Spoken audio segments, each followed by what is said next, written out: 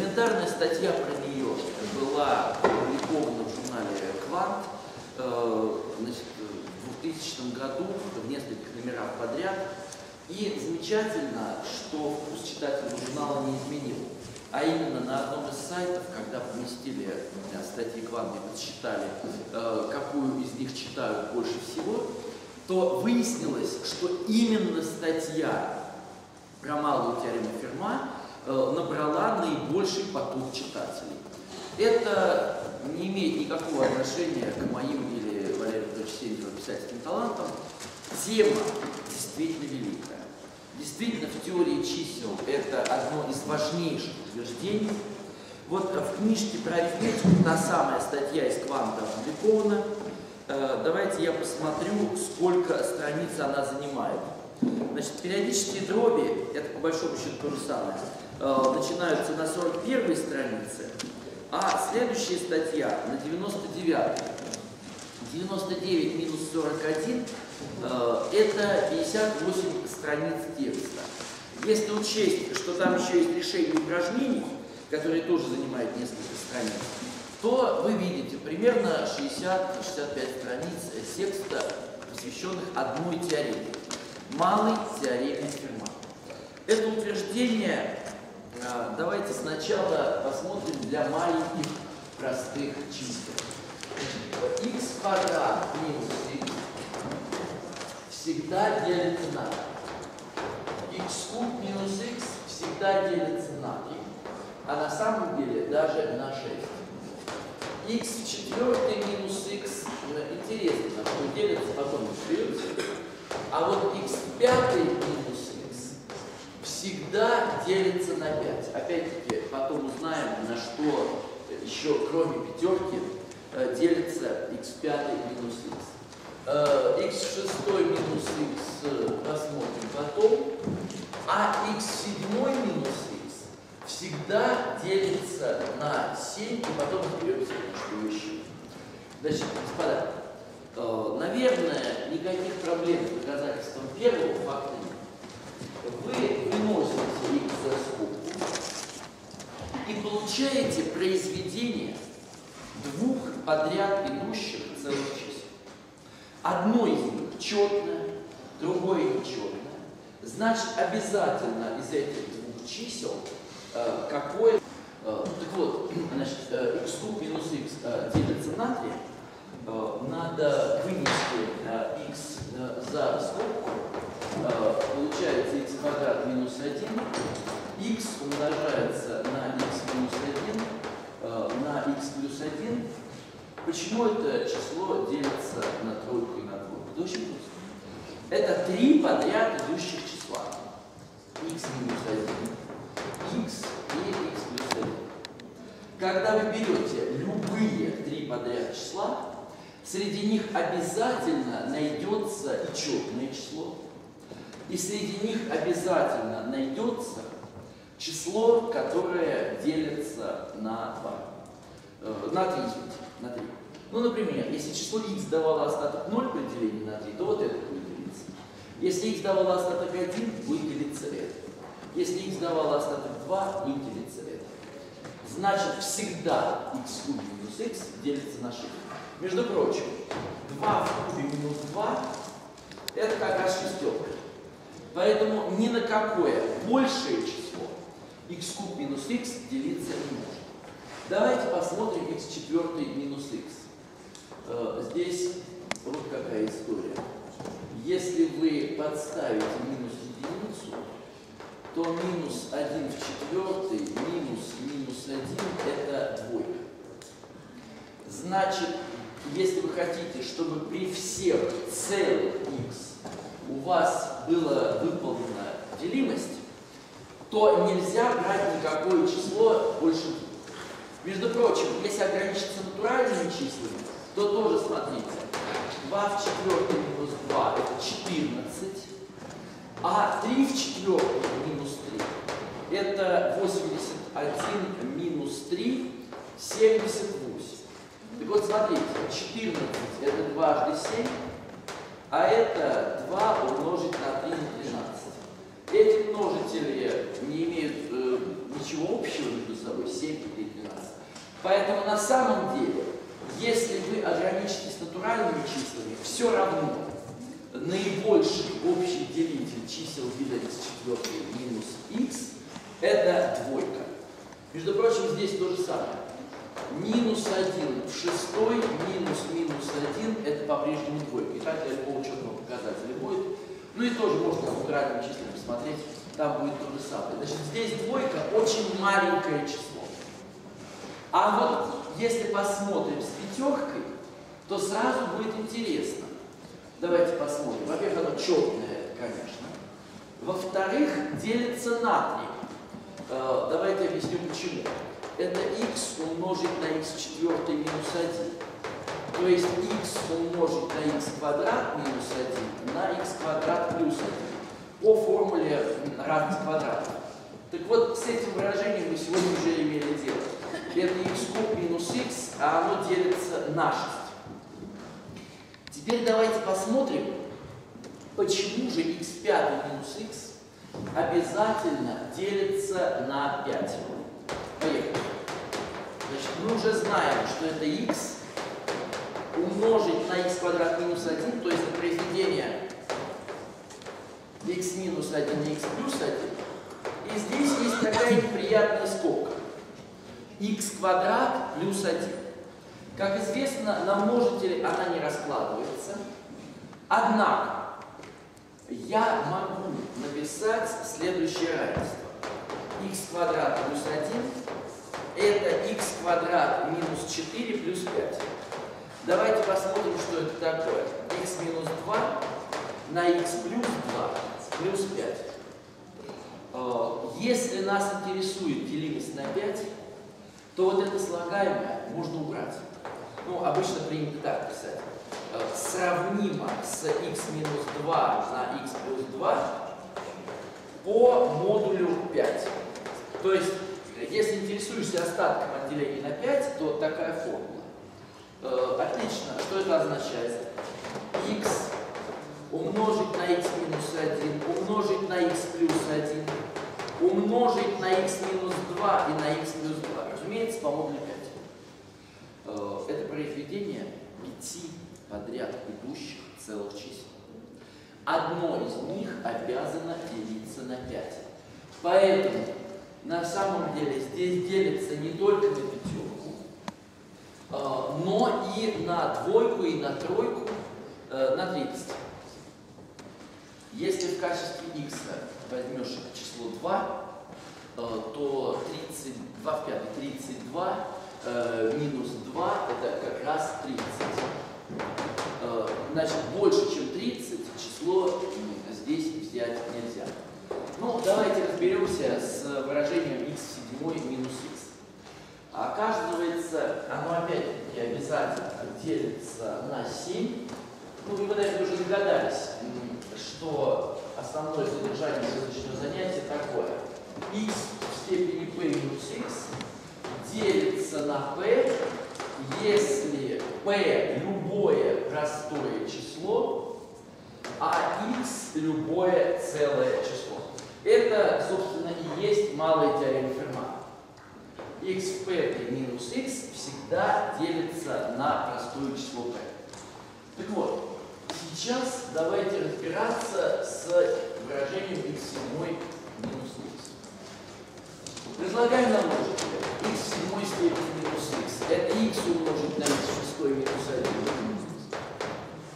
1. Это x. Пожалуйста.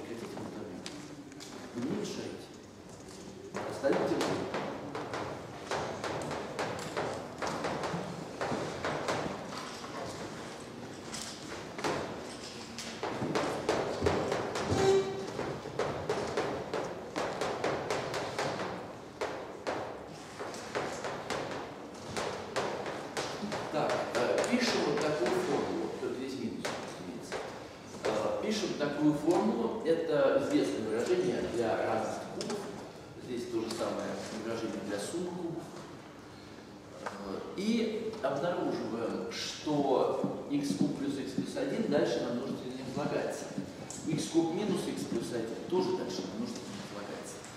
Что делать?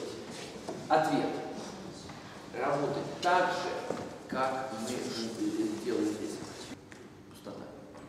Так вот, значит, что у нас здесь есть? x в седьмой минус x, это x на x минус 1, на x квадрат плюс 1, на x плюс 1, на x квадрат минус x плюс 1. Мне нужно разложить выражение по модусе. Что это означает? Это означает, что я хочу, чтобы было произведение семи подряд идущих чисел. Давайте посмотрим, какие у меня уже есть, а каких нет. x, x минус 1 есть, x плюс 1 есть. Какие еще бывают? Вы помните, для пятерки были? x, x минус 1, x плюс 1, x минус 2. Так вот, давайте посмотрим. x, x минус 1, x плюс 1 это есть. Дальше. x минус 2, x минус 3, э, x плюс 2 э, и x плюс 3. Давайте посмотрим. Вот, значит, это у нас уже есть. Нельзя ли из этих выражений сделать что-нибудь такого типа? Ну, давайте перемножать. Э, я хочу так, умножить x минус 2 на x плюс 3. Вот эти два выражения перемножить и эти два тоже. Давайте быстренько это сделаем. x минус 2 умножаю на x плюс 3. Получаю x квадрат минус 2x плюс 3x минус 6. А это, господа, x квадрат плюс x минус 6. Теперь внимание. Это x квадрат плюс x плюс 1 минус 7. Если меня интересует остаток деления на 7, то это минус 7 можно выписать. И останется x квадрат плюс x, э, x квадрат минус, э, плюс x плюс 1, оказывается, что это есть произведение x минус 2 на x плюс 3. Разумеется, я сейчас ровно то же самое могу сделать двумя оставшимися скобками. Наверное, вы уже понимаете, что ответ будет такой же. x минус 3 умножу на x плюс 2. Давайте x минус 3 умножу на x плюс 2. Это будет x квадрат минус 3x плюс 2x минус 6. Что это такое? x квадрат минус x минус 6. То есть x квадрат минус x плюс 1 минус 7. Минус 7 выбрасываем, остается x квадрат минус x плюс 1. Значит, э, ребят, это же замечательно. Это же означает, что вот эти две скобки с точки зрения делимости на 7 дают то же самое, что x квадрат минус x плюс 1. Конечно, я сейчас мог бы взять следующее число. Совершенно э, Следующее после семерки число 11. Разложить на множители, посмотреть. Но вы понимаете, что это путь в никуда. Потому что простых чисел бесконечно много, а во время всех этих моих доказательств я ничего общего не видел. То есть, конечно, гипотеза у меня возникла, что так будет всегда. Так будет для любого простого числа. А, давайте я напишу, э, собственно, гипотезу, которая возникает, когда смотришь а, на все это. Что, например, для 11, а, если вы возьмете выражение x в 11 и минус x, то это будет то же самое, что x минус 5 умножить на x минус 4, умножить на x минус 3, умножить на x, на x плюс 1, э, x плюс 2, x плюс 3, x плюс 4, ладно, напишу до конца, э, x плюс 5. Произведение 11 скобок. Простите, а вопрос? Да. А почему именно таких, а не начинающихся, например, с наименьшей x минус 4? А, Потому что если вы возьмете x минус 5 и скобку x плюс 6, то вы обнаружите, что это примерно одно и то же. Дело в том, что как отличается x плюс 6 от x минус 5? А вот так отличается. А нас 11 э, не интересует. Потому что когда вы интересуетесь делимостью на 11, то в любом месте число 11 можно отнять э, или прибавить, от этого ничего не изменится.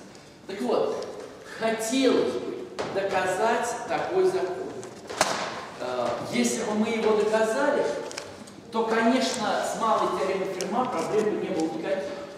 Потому что среди любых 11 подряд идущих целых чисел обязательно есть делящиеся на 11.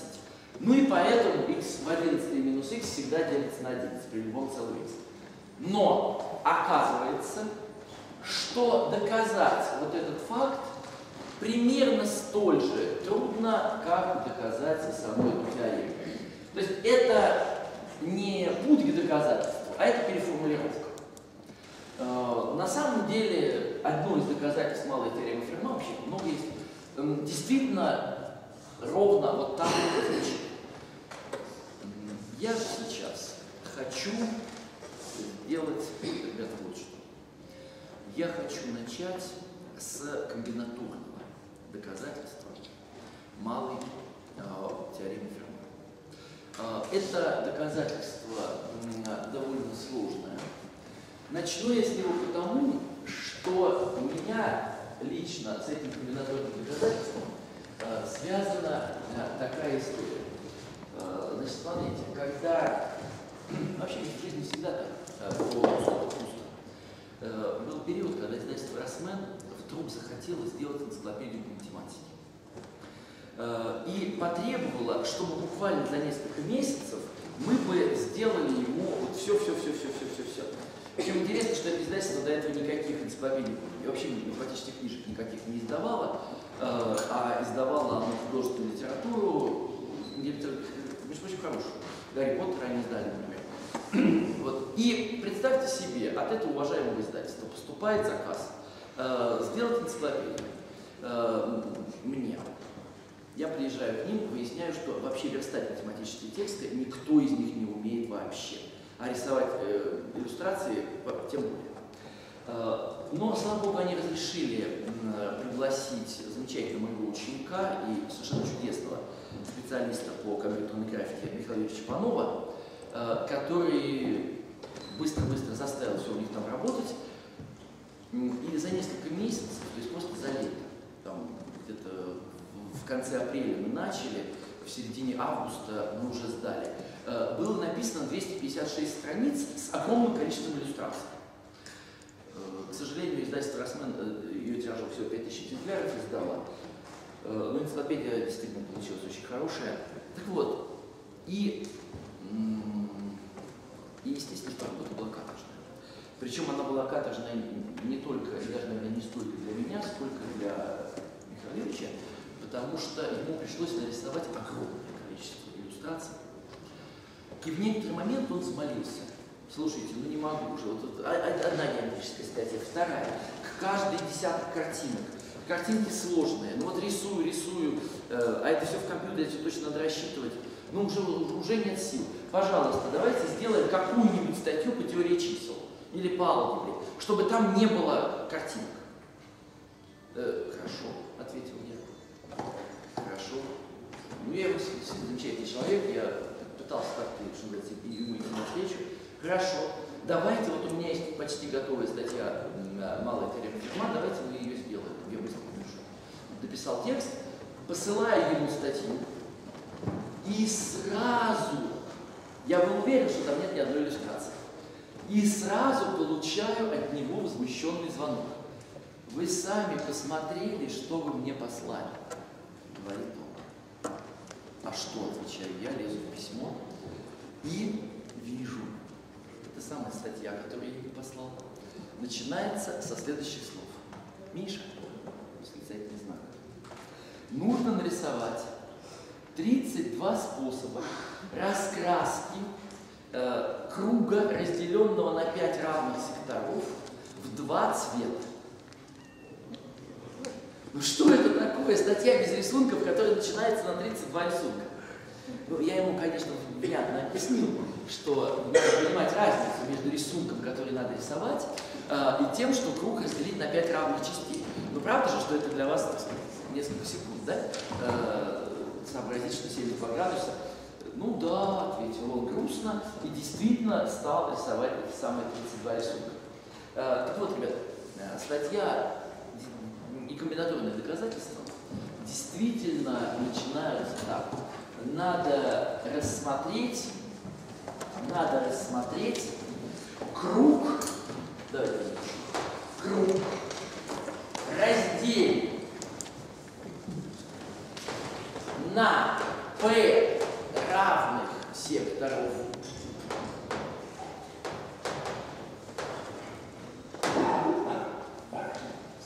Э, Пусть x натуральное число. Дело в том, что если x отрицательное число, то можно к нему несколько раз прибавить p, от этого по сути ничего не изменится. Можно считать, что x натуральное число. Э, Будем красить их при помощи x красок.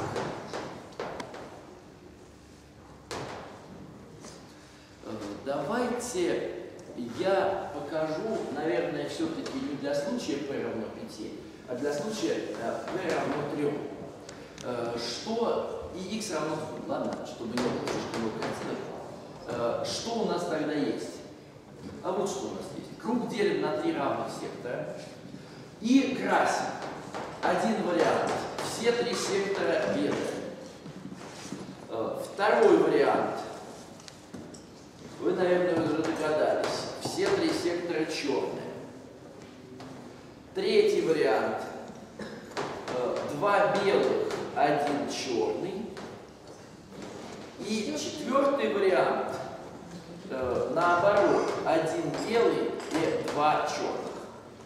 Обратите, пожалуйста, внимание. Разумеется, здесь вариантов три потому что эту картинку можно вращать. И здесь тоже вариантов три, потому что и эту картинку можно вращать. А именно, вот так вот повернуть, э, будет э, белый, белый, черный. И еще повернуть, тогда будет здесь белый, белый, а здесь черный. Ну и здесь то же самое. И здесь то же самое. Можно, чтобы черными были вот эти секторы, а белый внизу, а можно, чтобы белый был здесь, а эти черные. Всего 8 вариантов.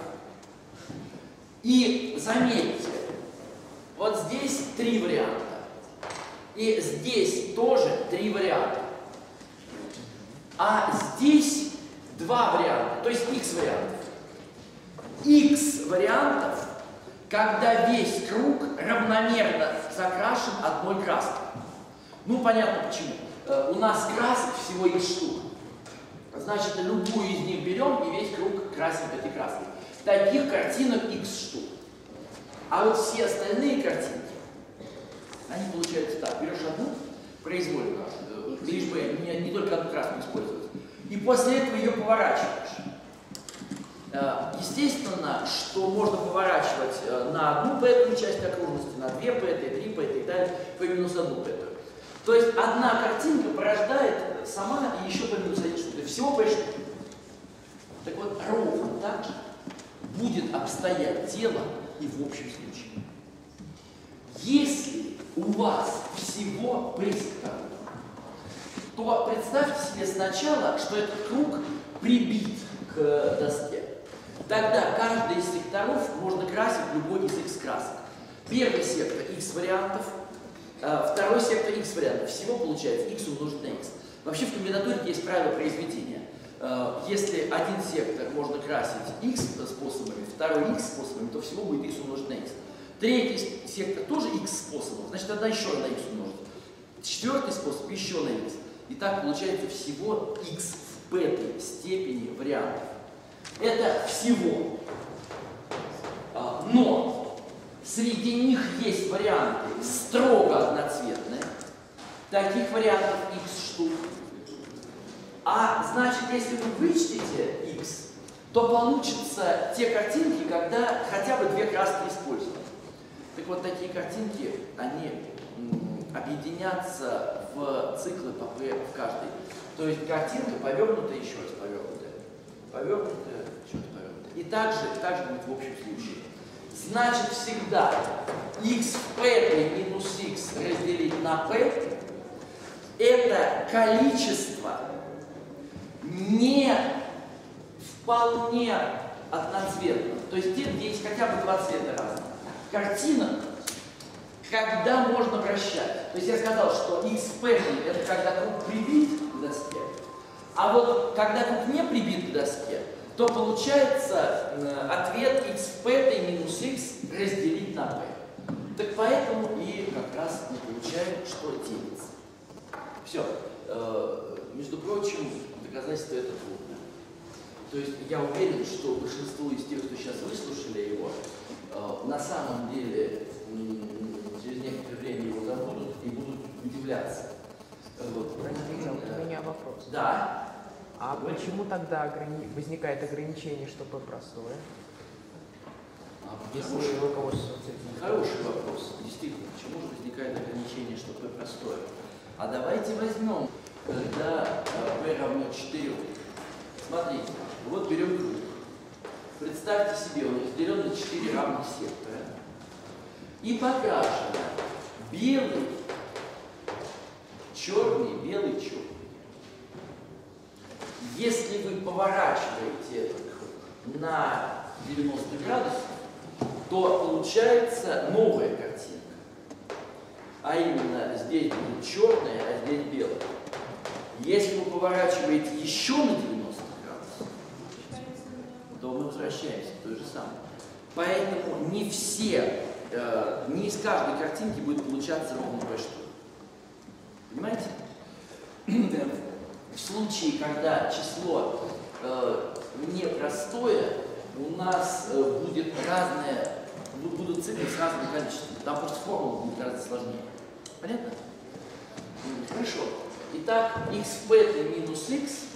Давайте посмотрим на другой способ доказательства, э, который тоже имеет некоторое отношение к комбинаторике, э, но на самом деле не напрямую к комбинаторике, а к так называемому треугольнику Паскаля.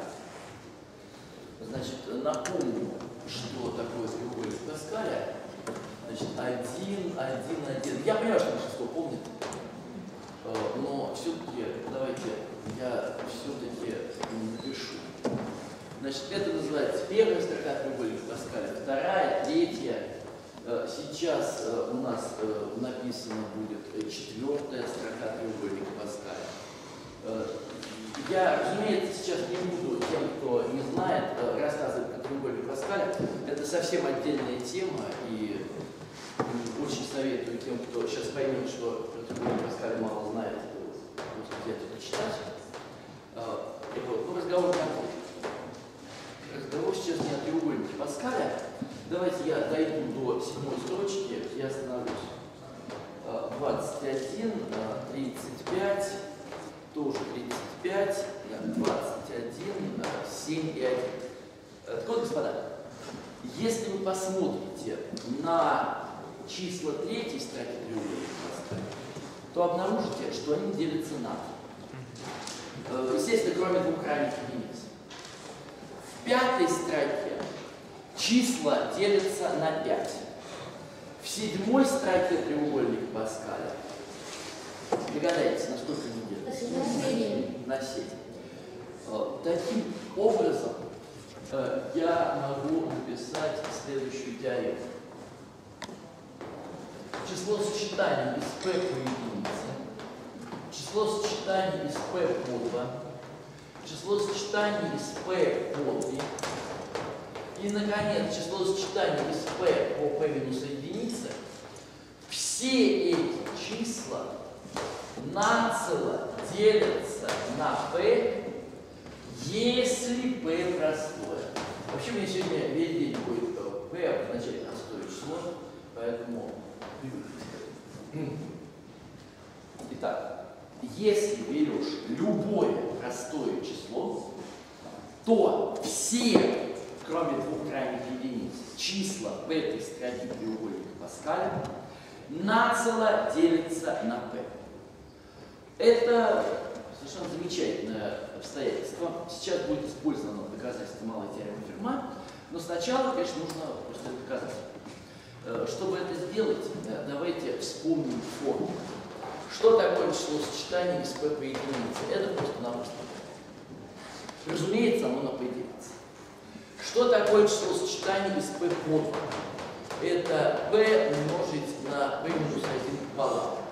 Разумеется, тоже делится на p, потому что простое, и p минус 1 пополам скачивается с. Число сочетаний с p подлым это p умножить на p минус 1 умножить на p минус 2 делить на 3 факториал. Опять p простое, а все вот эти предыдущие числа не могут с ним сократиться. Так давайте же напишем то же самое в общем виде. Число сочетаний из p по k, где число k это любое число единицы до p минус единицы. Э, как известно, это p факториал деленное на k факториал и на p минус k факториал. Обратите, пожалуйста, внимание, в числителе есть э, число p, в знаменателе все числа меньше, чем p. Это значит, что сократиться на множителю p, который есть в числителе, в знаменателе не сочетается простое число на множитель не разлагается, и поэтому сокращение невозможно. Значит, действительно, нацело делится на. Вот. Э, теперь вопрос ну что? Чем, собственно, можно помочь мне э, это обстоятельство, делимость э, всех э, чисел сочетаний на p? Ответ. Фактически, это и есть малая теорема в самом деле, ведь, э, опять-таки, я пропускаю это без доказательства, потому что невозможно все время доказывать одну и ту же теорему. Э, дело в том, господа, что числа из треугольника Паскаля – это же так называемые вертикальные коэффициенты. То есть, если вы возьмете x плюс 1 в кубе, то это, как известно, x в кубе плюс 3x квадрат плюс 3x плюс 1. Э, если вы возьмете x плюс 1 в пятый, э, то это x в пятый э, плюс 5x в четвертый, вот они коэффициенты, плюс 10x в кубе, плюс опять 10x в квадрате, плюс 5x плюс 1. Ну и напоследок, последняя вот эта формула, что такое x плюс 1 в седьмой?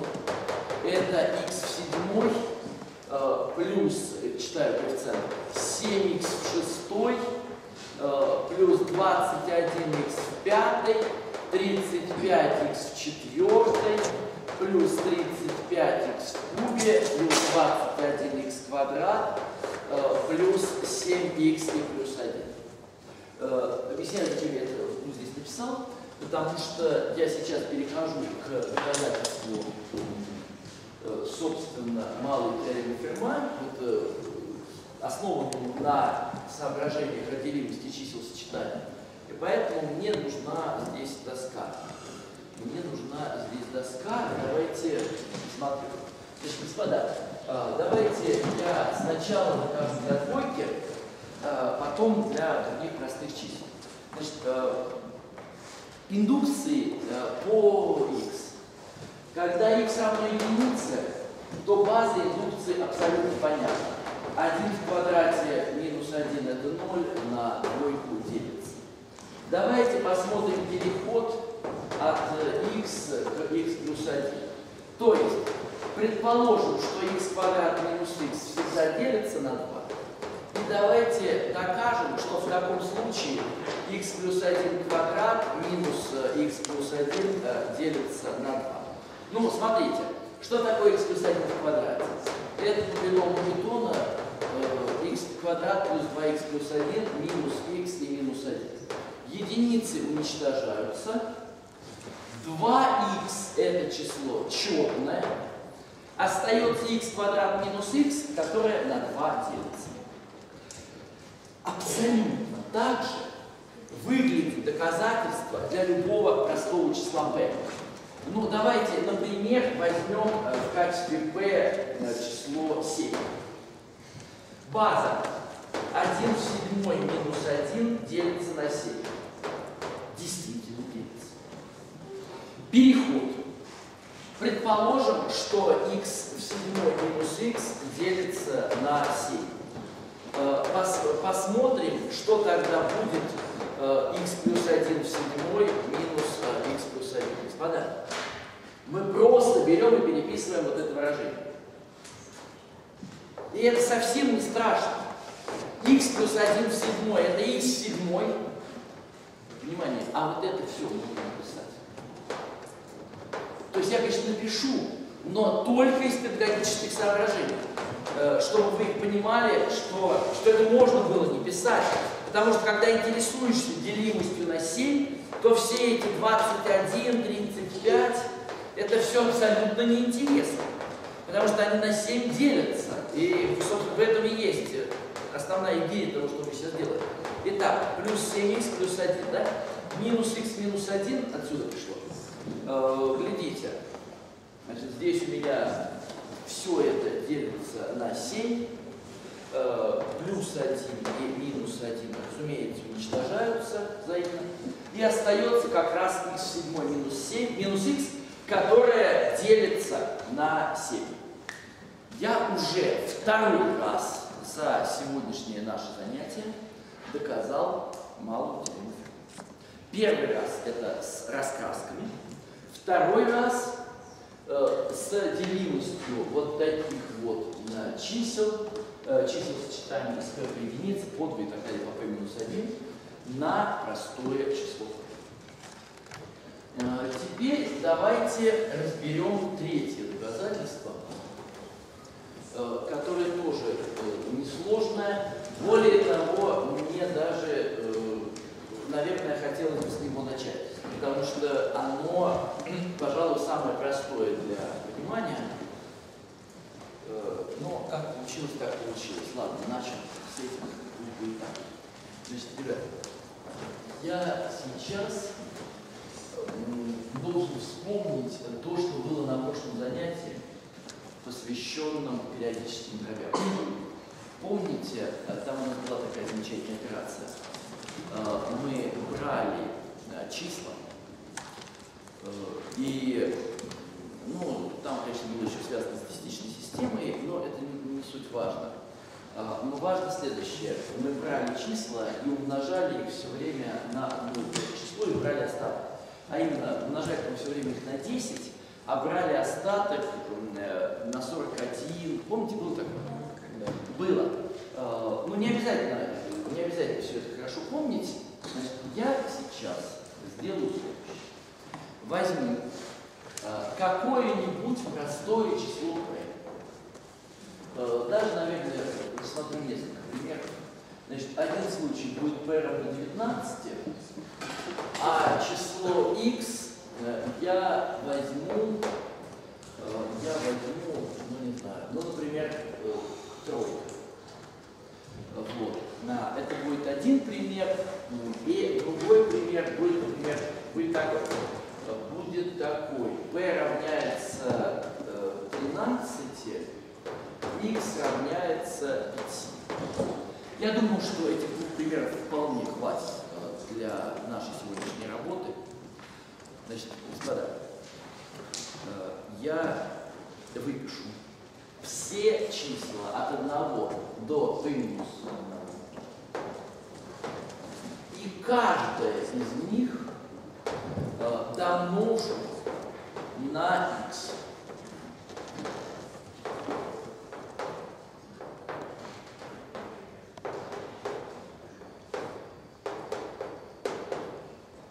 Каждая из них домножим на x.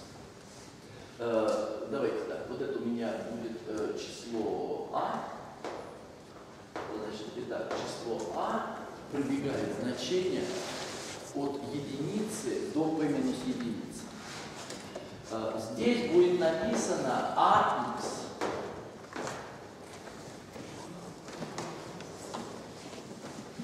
А здесь будет написано ax по модулю 19. Так, значит, что такое число по модулю? Это остаток отделения на 19. Э, очень простенькая таблица, сейчас мы ее с вами э, быстро запомним. Э, действительно быстро. Дело в том, что умножать на 3 – это же одно удовольствие. 3, 6, 9, 12, 15. Э, Я не обязан при этом знать таблицу умножения. Достаточно прибавлять. Достаточно прибавлять, поэтому высокая квалификация здесь не нужна. Так, 39.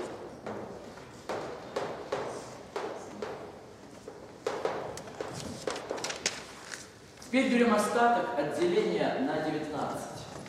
Ну, сначала остаток, хоть само число это одно и то же. А потом надо опять прибавлять по тройке. Э, Так, 11, 14, 17, 20 нельзя. Э, 20 это на самом деле 1.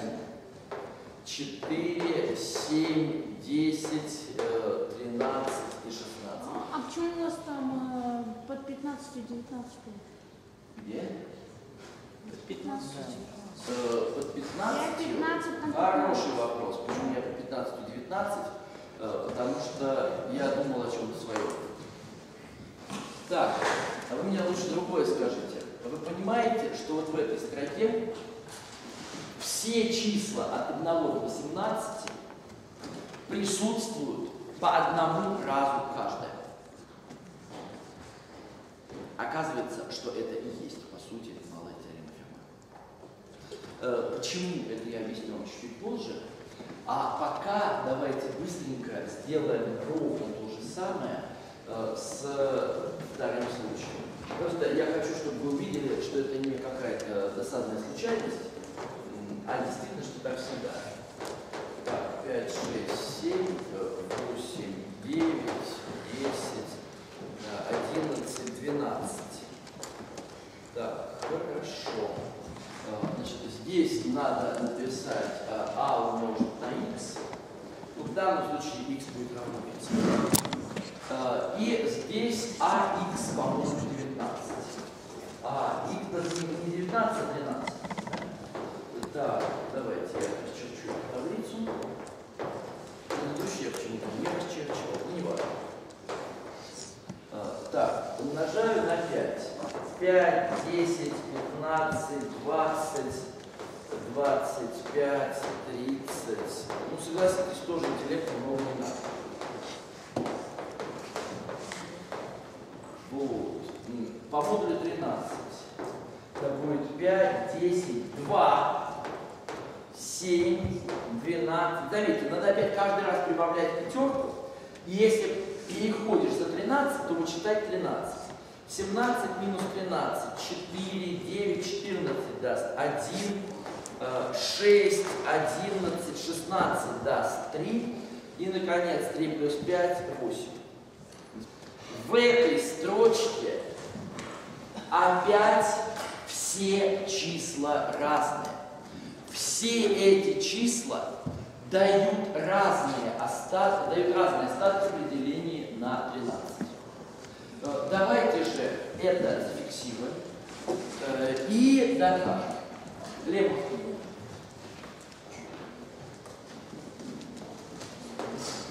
если x не делится на p, где p простое, то числа x, 2x, 3x и так далее, p минус 1x дают разные не нулевые остатки от деления на p. Или при делении на p. Э, Как вы пишите. Итак, если нас интересуют остатки при делении на p, то взяв числа x, 2x, 3x, 4x и так далее, p минус 1x, мы замечательным образом видим, что остатки у этих чисел все будут разные. Как это применять к малой теореме Ферма, я объясню чуть-чуть потом. Мне сейчас важно другое. Объяснить, почему э, это действительно. Значит, господа, э, объясняется это методом э, очень простым. Во-первых, почему они не нулевые? Да потому что число простое. Ведь у меня x, я напомню, и, так, я это забыл сказать, если x делится на p, то проблем вообще никаких. Поэтому, э, если, когда доказываешь теорему, то запросто можно считать, что x не делится на p.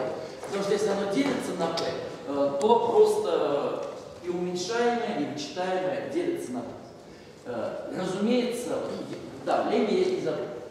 Если x не делится на p, это я не забыл написать. Так вот, когда берешь два числа, x и какое-то число от 1 до минус 1, то их произведение не может делиться на p. Потому что мы с вами проходили основной теорему арифметики, где доказывалось, что если произведение двух чисел делится на простое число p, то один из сомножителей должен делиться. Здесь ни один из сомножителей не делится, значит, действительно не нулевые остатки. Теперь, почему разные?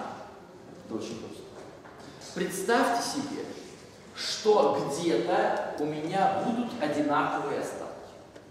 Вот взял какое-то число x, значит, и в каких-то двух разных столбцах э, получились одинаковые остатки. Что это будет означать?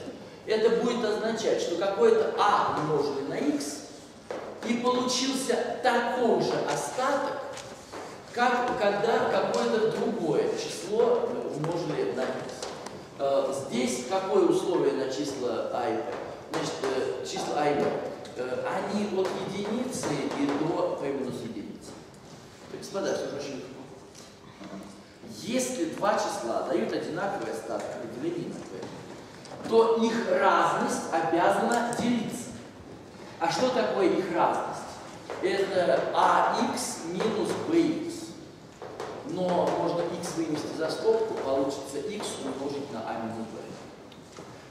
Если произведение x и а минус b делятся на p, то либо x делится, а мы помним, что это не так, ну, либо, значит, а минус b делится.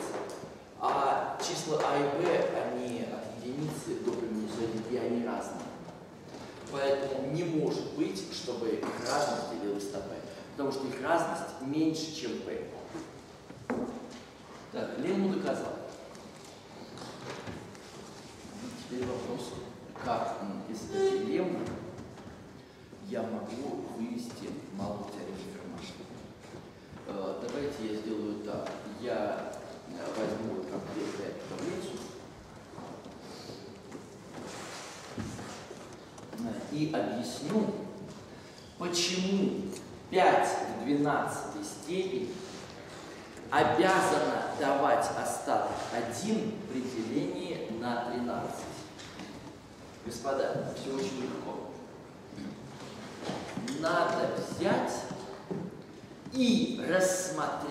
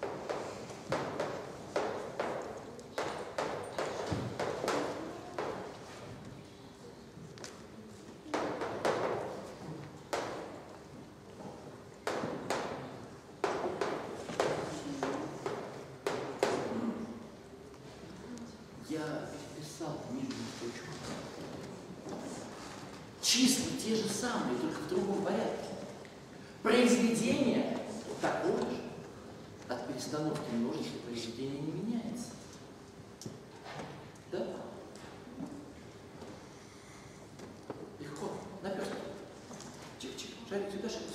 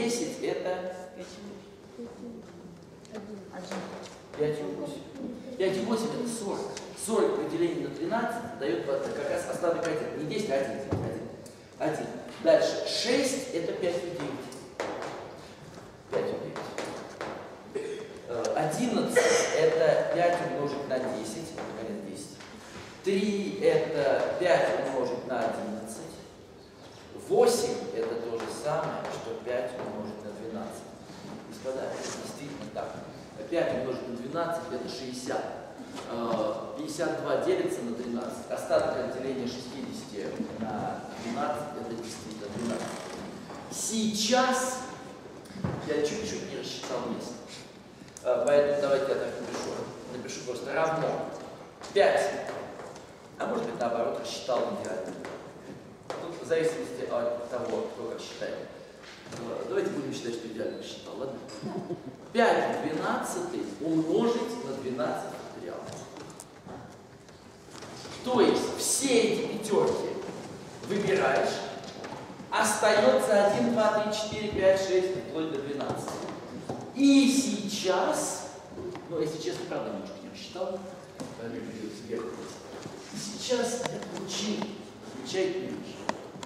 Я получил, что 12 факториалов дает такой же остаток при делении на 12, как 5 в 12 умножить на 12 факториалов.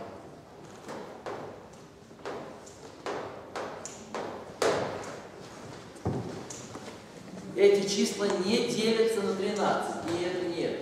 Но остаток у них один и тот же. И доказательство написано вот здесь.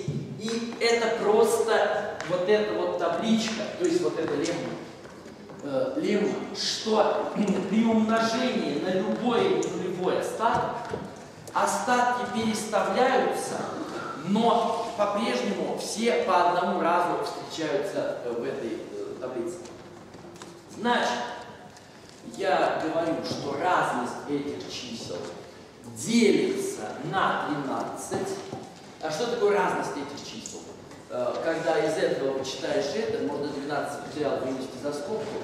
Э, И разность это, господа, будет вот что. Разность это будет э, 12 факториал умножить на 5 в 12 минус 1. И вот это все делится на 13. Ну, 12 факториал не может делиться на 12. Значит, 5 в 12 минус 1 делится на 12. Сейчас я, конечно, в общем виде повторю это рассуждение. Значит, э, очень просто. Мы говорим, что для любого простого числа p можно рассмотреть p минус 1 факториал. p минус 1 факториал – это произведение всех чисел верхней строки таблицы. Ну, записанный для любого простого числа. Домножим э, каждое число на некоторое x, которое не делится на p. Посмотрим на третью строчку таблицы. И в соответствии с ней, и в соответствии с леммой, мы получим в третьей, в третьей строке таблицы, у нас получится некоторая перестановка чисел. Произведение не зависит от порядка множителей, поэтому мы можем сделать вот такое. Каждый раз написать x умножить на 1, x на 2, x на 3 и так далее, x на минус 1. Э, Потом x p минус 1 вынести, и у нас получится следующее замечательное э, сравнение, что для любого простого числа p, э, когда берешь минус 1 факториал, э, то это будет то же самое, что x в p минус 1 умножить на p минус 1 факториал. Э, Значит, разность этих чисел обязана делиться. А что такое их разность? Когда из правого вычитаешь левое, получаешь x p минус 1 умножить на p минус 1 факториал. Чтобы это делилось на p, э, необходимо, чтобы первый множитель делился на p. То есть x в p минус 1 э, дает остаток 1 при делении на p. Для любого x, не делящегося на p. Э, Между прочим, если вы присмотритесь к м, этой таблице, то заметите, что мы заодно доказали еще очень важную такую вещь, э, что для любого и нулевого остатка есть любой остаток, который в произведении с ним э, дает единицу по модулю P. То есть в третьей строке нашей таблицы обязательно есть единица. Э, Иногда из этого делают всякие интересные выводы, говорят, что вот таким образом мы там можем доказать основную теорему арифметики, там, обойтись так без алгоритма Евклида. Это на самом деле неправда. Потому что по ходу дела мы считали очевидным вот этот факт, что если произведение двух чисел делится на p, э, то один из множителей должен делиться во время Леммана и исследователя. А вы прекрасно помните, что это и есть, по сути, основная теорема арифметики. Так что никакого нового доказательства основной теоремы арифметики мы здесь не получаем. Однако получаем еще одно напоминание, э, что э, когда у нас есть любой нулевой остаток x, то для него есть такой y, что x умножить на y дает остаток 1 при делении на простое число. Так, значит, ребята, а, мы уже довольно далеко продвинулись. А, Сейчас голосование. Поднимите, пожалуйста, руки, знает, что такое теорема Вильсона. Понятно. Значит, надо рассказывать э, утверждение. Э, P минус 1 факториал. Вот. Сам Вильсон особого отношения к ней не имеет, но так уж получилось, что теорема названа его именем. Э, Математика так часто бывает. И я думаю, всегда так и останется. Значит, Итак, теорема Вильсона. Э, P минус 1 факториал э, плюс 1 всегда делится на P. Если P простое число, разумеется, если P не простое, то ничего подобного. Например, если вы возьмете 4 минус 1 факториал, говоря, 3 факториал, то это будет 6. 6 плюс 1 м, никакого желания делиться на четверку не являет. Э, В общем, можно проверить, что для составных чисел ничего хорошего. Так, а для простых, для простых так. Значит, ребят, да, давайте я, ну, может, по-разному но давайте я сделаю так.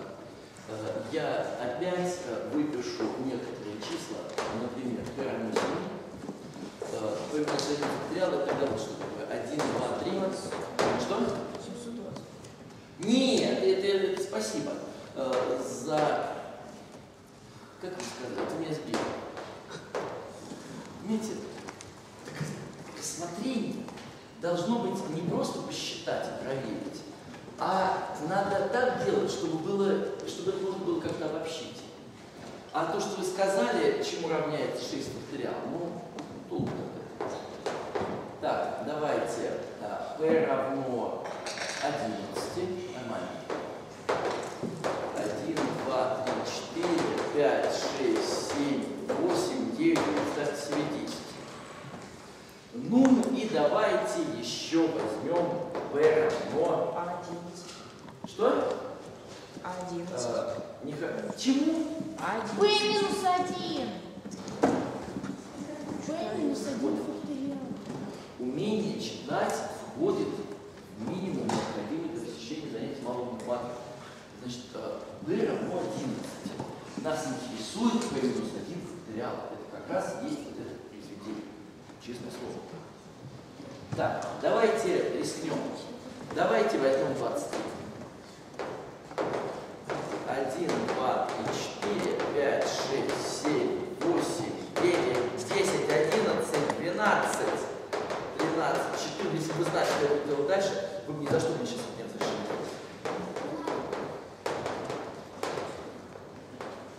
Так, ладно. 21, ой, не хочу. 21 и 22. Я сейчас сделаю для семерки нечто. А именно, я скажу, что когда 2 умножаешь на 4, то получаешь 8. А это число дает остаток 1 при делении на 7. А когда 3 умножаешь на 6, то ничего хорошего не получаешь.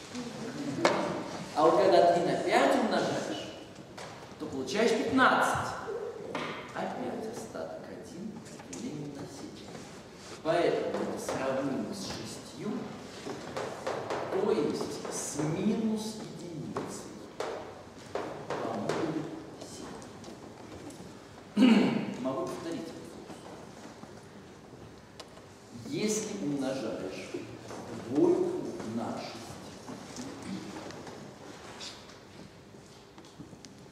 или тройку на 4,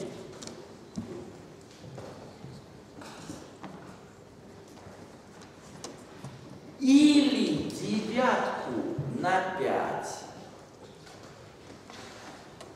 или 7 на 8, то получаешь 1 при делении на 1. Проверяйте, пожалуйста. А, Дважды 6 – 12. А, Трижды 4 тоже 12. 5 и 9 – 45, остаток 1 при на 1. 7 и 8 – 56, остаток 1. То есть это опять сравнимо с 10, то есть с минус единицей а, по модулю 11. А сейчас, господа, вы мне уж, пожалуйста, сами. Для 23. Что у нас будет? А? А, Трижды 8. Молодец. Дважды 12. Что-что? Дважды 12. Дважды 12 тоже хорошо. Шестью четыре. А, Шестью 4, замечательно. Дважды 12. А, было. Можно я вас научу одной вещи? Если А умножить на b это единица, то p минус А умножить на p минус b это же минус А на минус b. То есть это АБ, это тоже единица. Поэтому, если вы так замечательно нашли уже три штуки, то вы можете изобразить из себя умного. Надо просто быстренько от 23 э, вычесть э, двойку и 12. 23 минус 2. 21. 23 минус 12. 23 минус 12. 11. Значит, 21 и 11 что дадут? Остаток 1. Остаток 1, как здесь написано. Так, хорошо. 4 и 6. 23 минус 4. 19. 23 минус 6. 17. Очень хорошо. Так, что мы еще не сделали? 3 и 8. 23 минус 3. 20. И 23 минус 8. 15. 20 и 15. Вот. А дальше чисел осталось не так уж и много. Давайте увидим, что осталось. Семерка. 10, 13, 14. Ну, порядочно, конечно, но не так много. Э, прошу, ваше предложение. 7 на 10 это 70. 70 это остаток 1 при делении на 23. Очень хорошо. 7 на 10. Так, э, а здесь это будет что? 23 минус 7 и 23 минус 10. Будет э, 16 и 20. 16 и 13. Здорово. Так, что, что там осталось? Девять.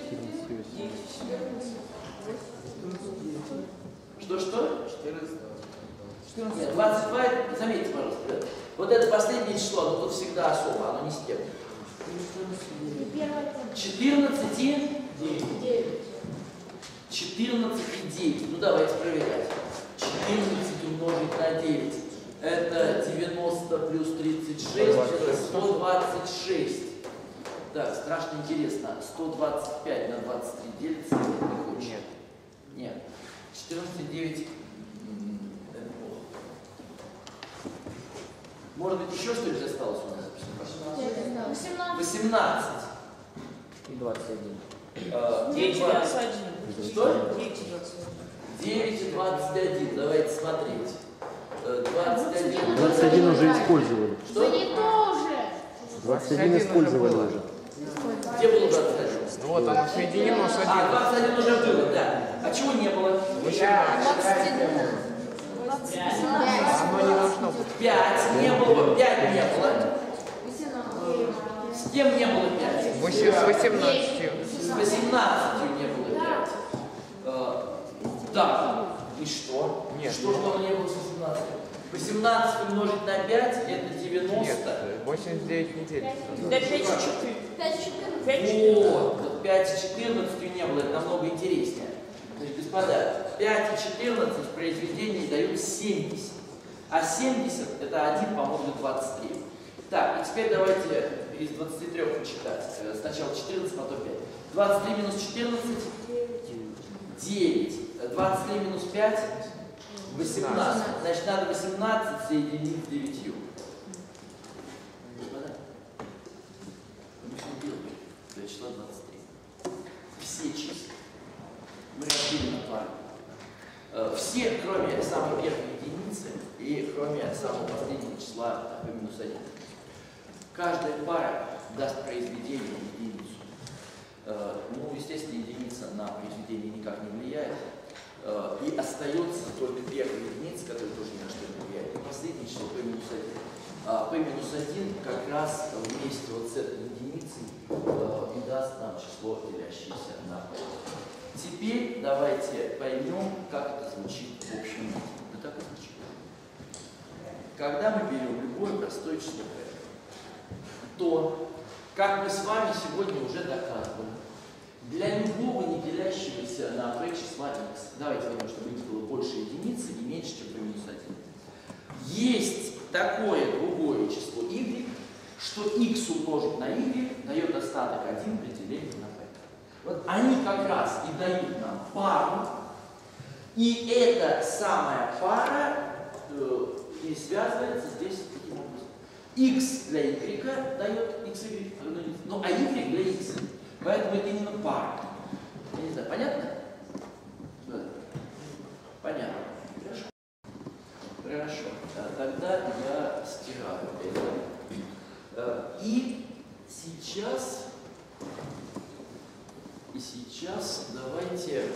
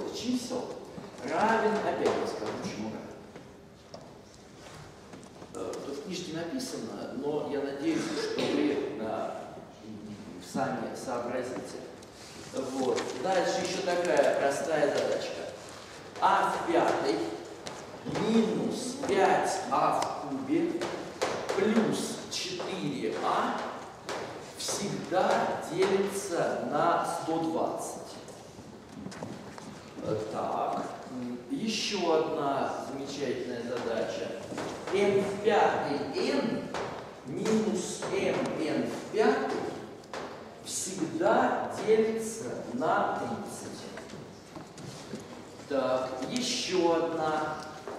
Если число k не делится на 2, если оно не делится на 3, и если оно не делится на 5, то k в четвертой минус 1 непременно делится на 240. Так, и еще какую-нибудь задачку напишу. Э, 2222 в степени 5555. Если его сложить в число 5555 в степени 2222, то удивительным образом сумма будет делиться на 7. Отлично. Решайте, если кто-то хочет что-то рассказать, выходите, просто прошу. вас.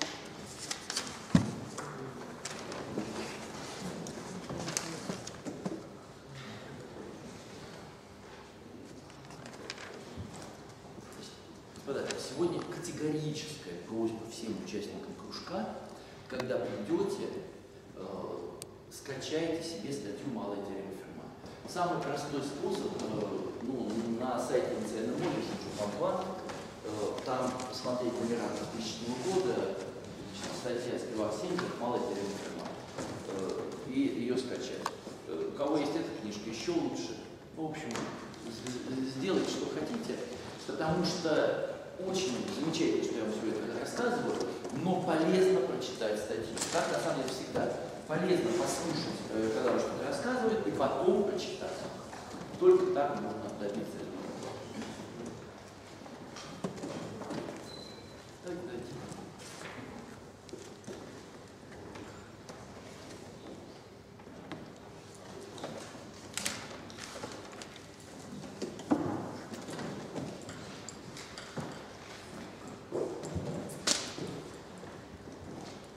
А мне надо доказать?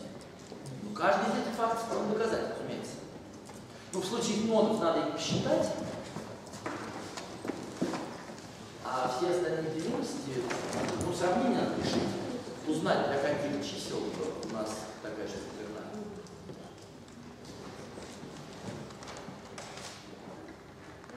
А каких числах? Да? Простых, простых иксов. Каких? Нет, секунду. Здесь иксы э, это любое целое число. Здесь тоже. Здесь а любое целое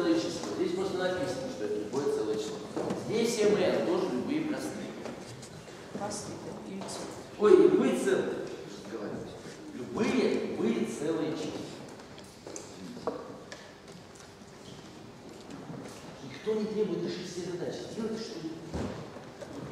Что? Знать так не надо. Думать надо.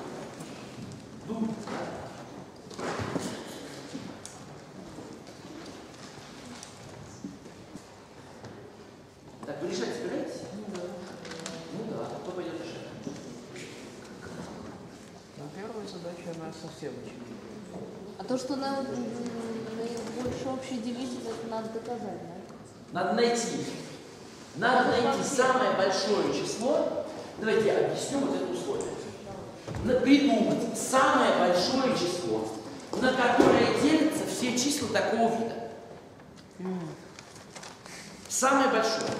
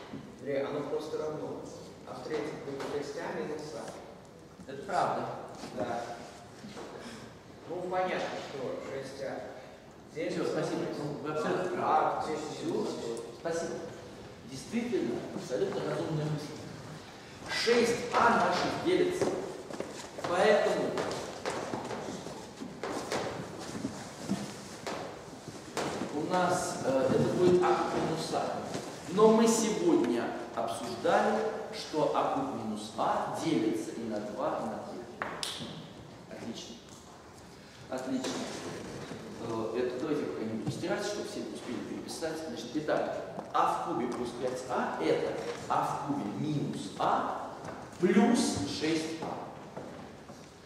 Плюс 6а не влияет на делимость на 6, поэтому на самом деле.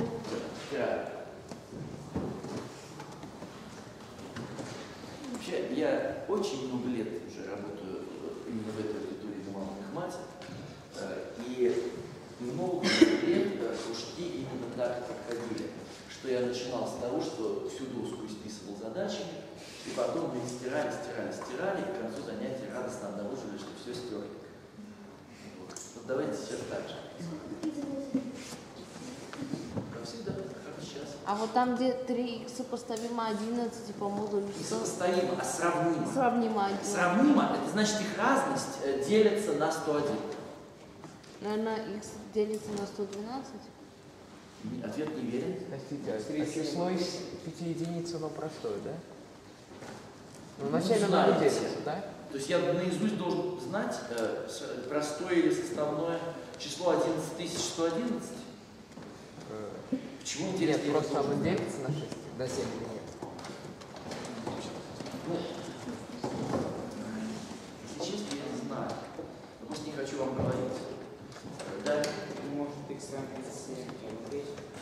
Не понимаю, а как вы задачу говорите. x равен 7 целых 3. Это где? А, 3 x равен 11. У нас целые числа. Какие одна? Какая еще будет одна третья? Ребята, э, на самом деле в этой задаче действительно просят разделить на два. Поэтому, вот понимаете, что это смотря от кого. Э, Если бы я это услышал от специалиста по теории чисел, то я бы согласился. Ну, конечно, x это 3,1 треть. Но когда я это слышу от школьника, то я, разумеется, возмущаюсь. Какая одна треть? Надо понять, что Стоп, это- одна треть, Какой когда речь идет по модулю 101. Что такое это самое ваша одна треть?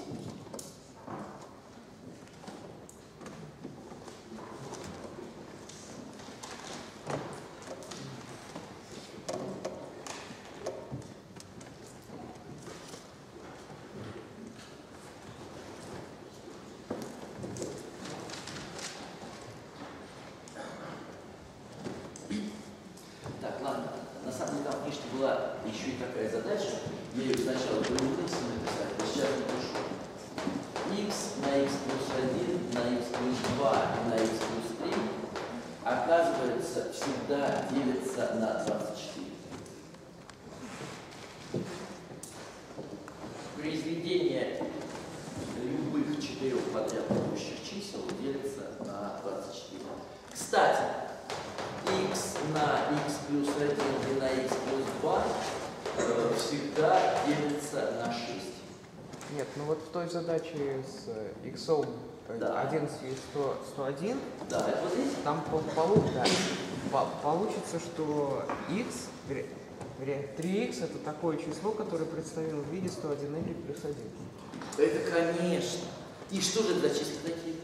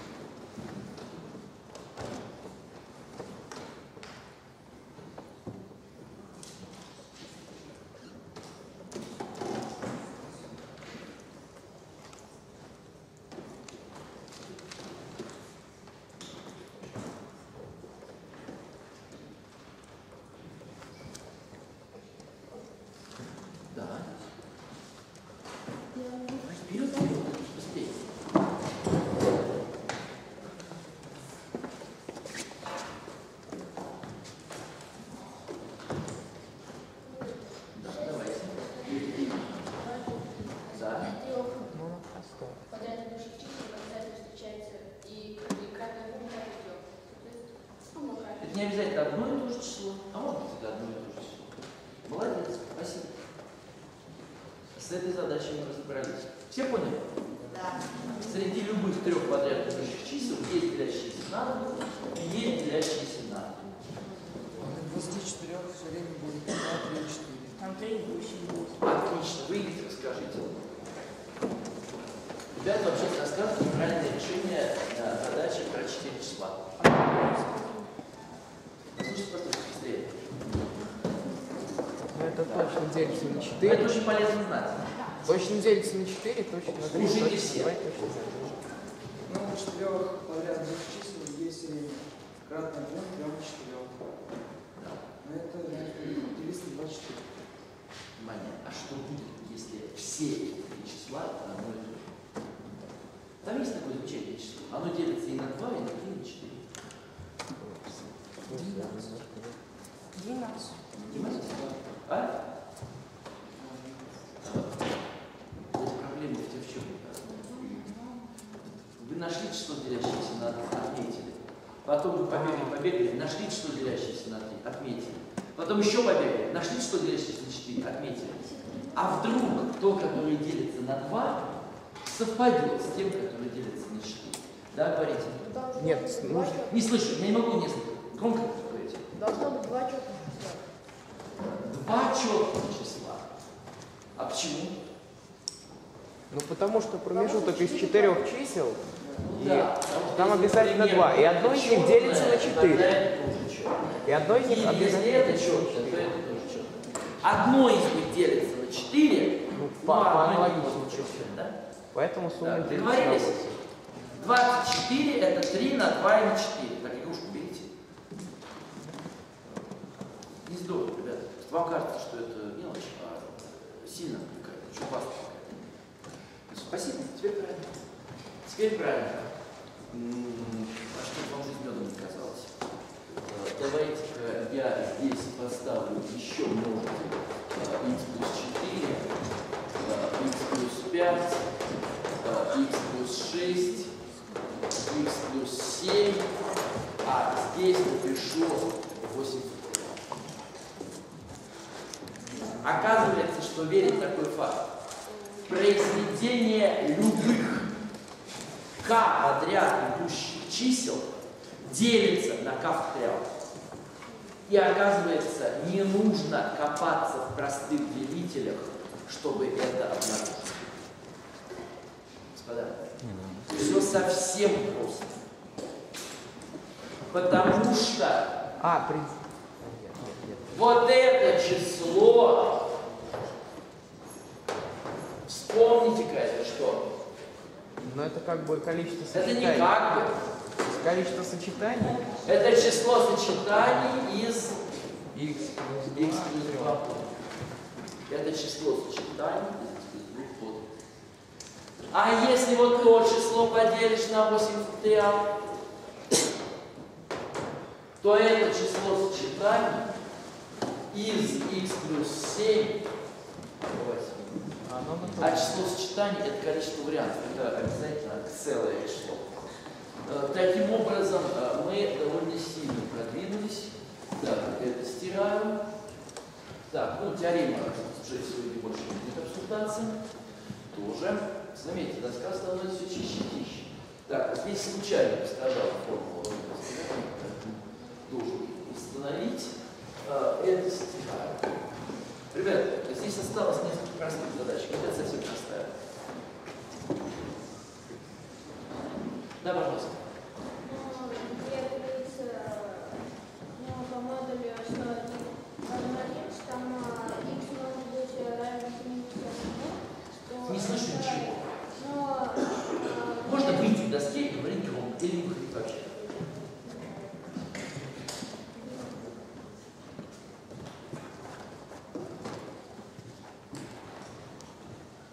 Ну, вот э, этой задаче Да. а, x а, может быть равен 71 102, ну и так далее. То есть а, 71 плюс 101.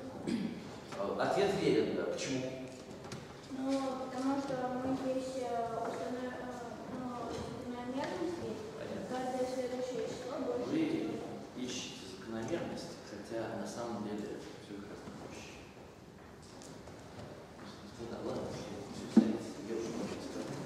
Разумеется, никто не заставлял вас здесь проверять все числа до стороны. На самом деле надо было сказать следующую простую вещь. Э, Смотрите, 3х да, э, сравнимо, смотрите-ка, с 11 минус 101. Пожалуйста, запишите все фотографии. Когда вы отнимаете 101, от этого ничего не меняется, потому что 101 это 0, по-моему, 101. А 11 минус 101, господа, это 90. Поэтому получается такое сравнение. 3х это то же самое, что минус 90. Ну, что это означает? Это означает, что а, 3х плюс 90 а, должно делиться на 101. Это я для тех, кто плохо сравнениями работает. Может быть, просто на 3 делить. В результате тройку выносишь, получаешь 3 умножить на x плюс 30. Э, Должно делиться на 100. Значит, x плюс 30 должно делиться на 101. Э, x плюс 30 э, делится на 101. То есть x это на самом деле 71 по модулю 101. То есть действительно вы правы, это или 71, или 71 плюс 101, или 71 минус 101, или 71 дважды 101. В общем, это число такого вида. Э, Это 71 плюс 101 умножить на любое целое число z. Очень хорошо. С этим сравнением значит, мы с вами разобрались. 3х. а, сумели. Тут прием такой. Вы вычли для того, чтобы нацело делилось бы на 101. Ребята, вот эти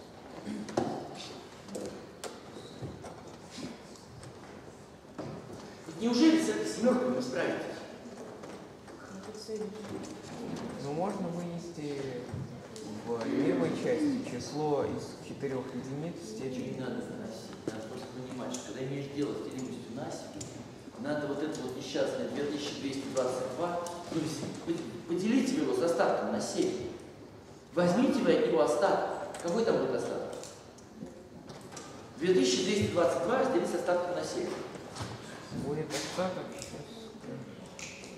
Пять. М, Я не уверен. Ну, Смотрите, 21 отбрасываем, остается 122. Э, 52, остается остаток 3, да. 3 в степени 5555. Так, э, вот это вот забор из пятерок э, при делении на 7, какой даст остаток? Так, 49 выбрасываем, остается 65. 65 какой дает остаток при делении на 7? Два. 2. 25. Какой дает остаток? 4. Господа, всего-то э, 4 в степени 2222. Надо доказать, что делится на 7. Неужели? Мы же малую теорему Ферма с вами прошли. Означает малая теорема Ферма э, для семерки? То x в степени 7. x в шестой степени Минус x. добьет остаток 1, правильно? Да. Значит, еще раз. 3 в шестой степени – это единица по модулю 7. И, кстати, э, 4 в шестой тоже. Значит, что нормальный человек может сделать? Надо 5555 делить с остатком на 6. Ну, мы делим, делим, делим. Давайте. 5555. Какой дает остаток при на 6? Два. Поехали. 54 на 6 делится. 15 при делении на 6 дает остаток 3. 35 при делении на 6 дает остаток 5. Значит, здесь, господа, получается 3 в пятых. Так, 2222. Смотрим при делении на 6, какой дает остаток 2. Слушай, ну я знаю, кто такой. Я даже я не понимаю, как это вам объяснять. Очевидно 2, конечно. Потому что 222 делится на 6, понимаете? так? Делится и на 2, и на 2. Значит, значит 2. Получается плюс 4 в квадрате. Неужто вы не знаете, сколько будет 3 в пятом? Знаем. Сколько? 243. 243. А 4 в квадрате? 16. 16. Э, 243 плюс 16. Сколько будет? 259. 259. Э, Пожалуйста, поделись на 7. 37. Подели. Три- ну, Видите, достаточно попросить, а поделит. Согласны? Все, победа. А, на самом деле, конечно, ее можно было и по-другому решать разными способами. Совершенно. Так, все. Все, все, все, все, все, все, все. смотрим, что у нас еще есть. Ну, неужто вы его не разлогом намножите? А, я первый шаг сделал. Четыре. Вы давайте дальше. Ну, выдели полный квадрат. Желательно. А как это полегче? Полегче. 5 минус 5 а квадрат как минус... Ну что? 5 минус 5 квадрат как минус 4 квадрат плюс... Замечательно. Так в результате же что? Неужели вы это не понимаете? 4 там минус А минус 2 на А плюс 1. Ну, ну, ну, ну. А плюс 2. А, а минус 1, что там бывает еще? А плюс 1. А минус а 1. А плюс 2. В народе это как называют? Последовательные числа. Произведение пяти подряд.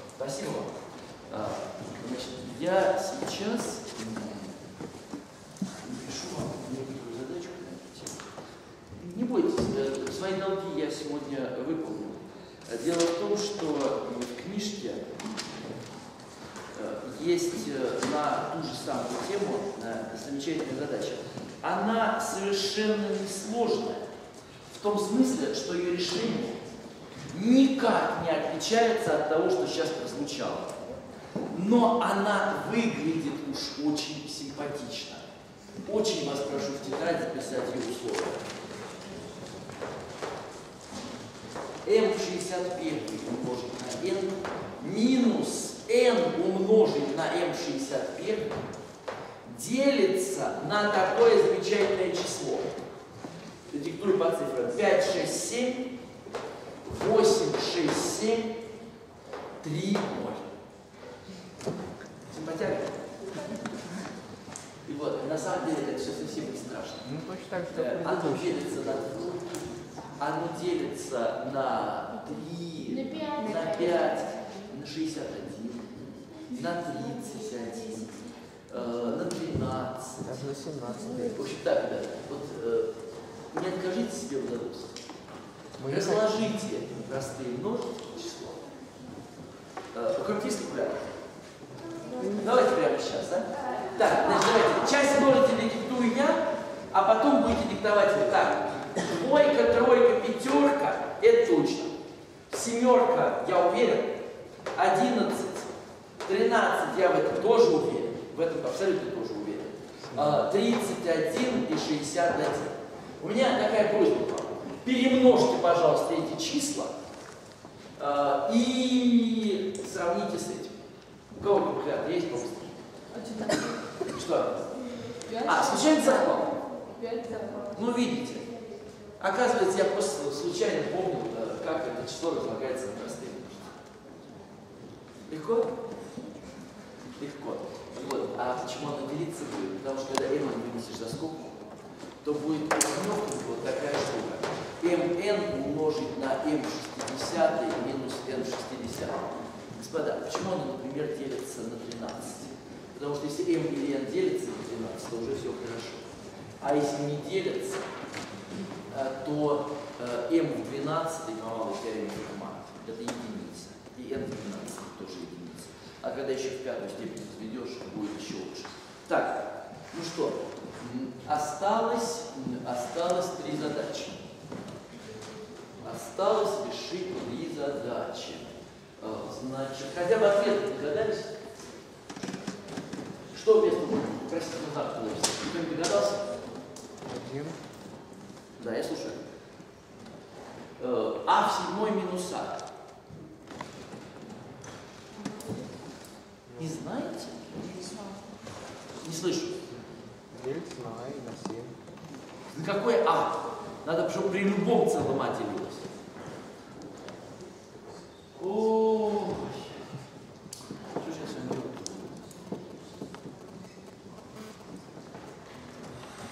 А в седьмой минус А. Так, здесь тоже не знаете? А там А в какой степени? Девятое. То есть найти число, по которому Найти самое большое число, на которое делятся все числа какого? Все. Да. Так, хорошо. А, Скажите, пожалуйста, если в качестве А взять двойку, Короче, а, сколько будет? 2 в седьмой минус 2. Много. А. Будет 126. 126, вы абсолютно правы.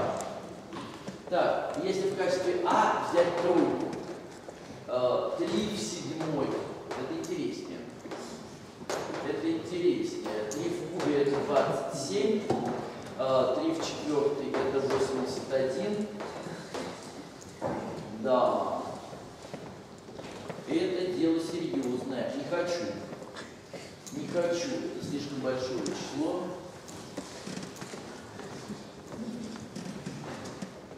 Да.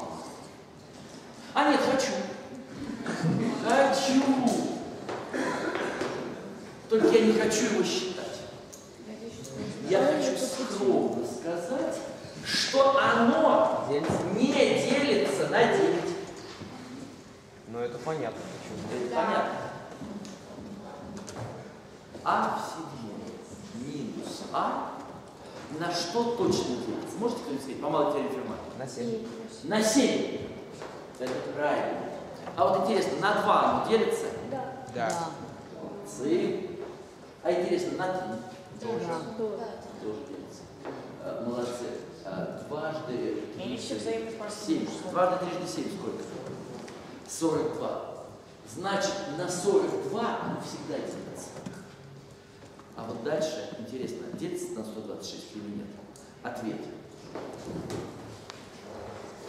126 на 9 делится, а 3 в 9 минус 3 не делится.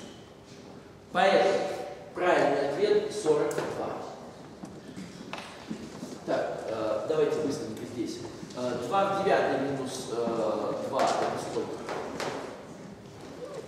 510. 510, вы правы. Э, Соображаем, что такое 510. Это Это три- 2, три это на- 30, да, то есть три 2 на в 17 5 да. умножить на 7. Э, Замечательно. Э, Меня очень А интересует 510 вопрос. сразу на 7 делится? А? На 17. Ну, 17, да. Как? Ну, 51, 17. 3 на 17. 17. Э, Действительно, 30 и 17. Так, дальше меня очень интересует такой вопрос. Э, вот дело в том, что на 2 все такие числа точно делятся.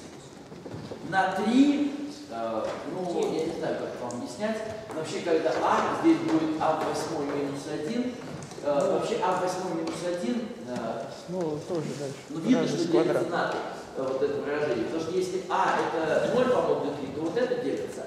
Если а это 1 или минус 1 по модулю 3, то вот это делится. В общем, господа, на 3 оно тоже делится. На 5 э, тоже легко объяснить почему. Дело в том, что если а делится на 5, то вот это делится. Если а не делится на 5, то по малой теореме Ферма а в четвертой сравним с единицей. Ну, значит, в восьмой степени тем более.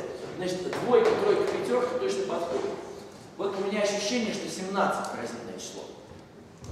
Для этого надо, знаете, что посмотреть? Э, Надо взять э, какое-нибудь число э, типа 4 в 9 э, минус 4 и посмотреть, делится оно на 17 или нет. Интересно, делится ли оно на 17? Что? Кстати, будет делиться, да, потому что на самом деле это же разность квадратов вот этих чисел, а она делится. Да, пятое. Э, 3 в 9 минус 3. Давайте посмотрим, э, будет ли оно делиться на 17. Э, э, Будет ли оно делиться на 17. Для того, чтобы это узнать, надо тройку вынести. Получится 3 в 8 минус 1. Э, Надо узнать, делится на 17 э, или нет. Так, разбираемся с числом 3 в 8. Э, Разность так, квадрат. Что? Разность квадрат. Я понимаю, что разность квадратов. Это 3 в четвертой плюс 1. Э, Знаете, сколько это будет? Это будет 82. Не делится на 17. Умножить э, на 3 в четвертой минус 1. Э, 3 в четвертой минус 1 это 80. Тоже не делится. Победа. Э, Для тройки нет делимости на 17. Э, Значит, ответ какой? 17 пригодится, а эти нужно ли годятся. Какой ответ? 30. Ответ 30. Так, и последняя сегодняшняя задача, и мы расходимся. Вот это верно. Если число не делится на двойку, тройку, пятерку, то оно в четвертой степени минус 1 делится на 240. Но на 30 оно делится. Господа, легчайшая задача. Мы просто берем, излагаем 240 на множитель, простые. И для каждого из них быстро разбираемся. Значит, э, 240 это 3 умножить на 80. Согласны? Да. Отлично. 80 это 5 на 16. Поэтому 3, 5 и 2 в четвертой. Э, Так, смотрим, что такое k в четвертой. Это k квадрат минус 1. То есть это k минус 1 умножить на k плюс 1 на k в квадрате плюс 1. Господа, если у меня число, давайте объяснюсь, почему эта радость э, всегда делится, а впрочем, так даже легче, почему она всегда делится э, на 3. Потому что k в квадрате сравнимо с единицей по малой теореме Ферма, то есть k в четвертой тем более. Почему она делится на 5? Это в точности малая теорема Ферма, потому что k в четвертой минус 1 делится на 5 по малой теореме Ферма. Теперь, почему эта радость делится на 2 в четвертой? А вот почему. Если k нечетная, то эти множители нечетные. Но при этом вот это, это соседние четные числа. Поэтому обязательно одно из них что делает? Делится на 2. Делится на 4. Значит, одно из них делится на 4, остальные четные. Э, у нас как раз получается, э, так бы по одной двойке а так у нас еще одна в результате 4